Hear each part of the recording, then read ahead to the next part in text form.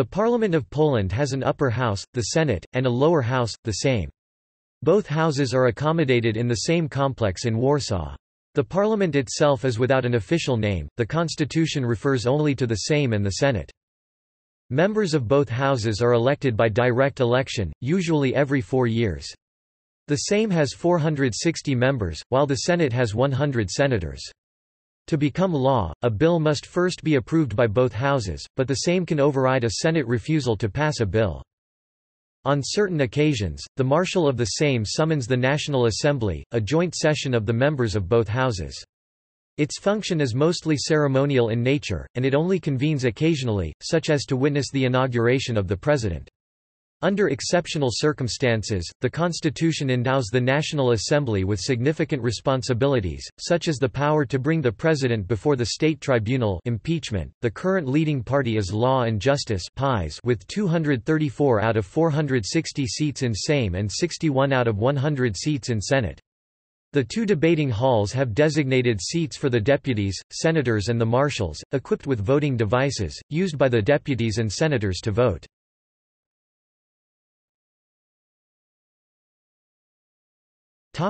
National Assembly The National Assembly Polish, Narodow is the name of a joint sitting of the Sejm of the Republic of Poland and the Senate of the Republic of Poland. It is headed by the Marshal of the Sejm or by the Marshal of the Senate when the former is absent. Under the 1997 Constitution of Poland the National Assembly has the authority to Declare the President's permanent incapacity to exercise his duties due to the state of his health by a majority vote of at least two-thirds of the statutory number of members. Bring an indictment against the President to the State Tribunal by a majority of at least two-thirds of the statutory number of members, on the motion of at least 140 members.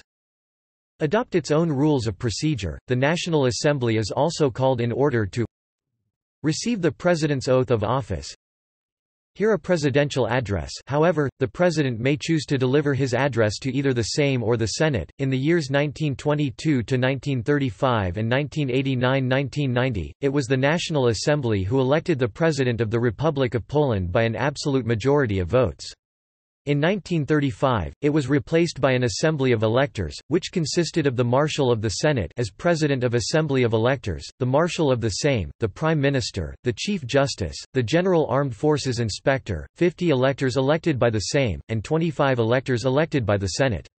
The Senate was abolished in 1946 so in 1947 Bolesław Bierut was elected president only by the Sejm.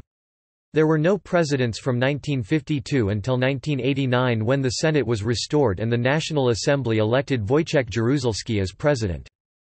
Since 1990, the president has been elected by the people. However, the president is still sworn in before the National Assembly, which is also the only organ which can declare the president's permanent incapacity to perform his duties, or bring an indictment against him before state tribunal. From 1992 to 1997, the National Assembly drafted and passed a new constitution, which was approved by a national referendum on 25 May 1997.